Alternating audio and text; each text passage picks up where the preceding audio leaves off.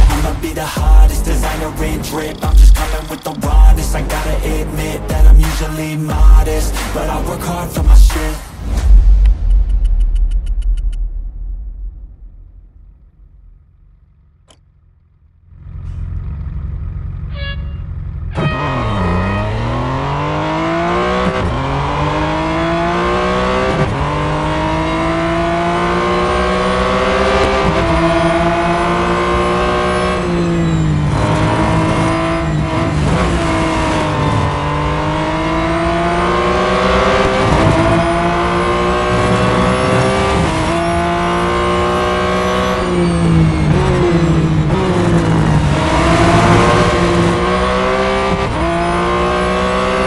Thank you.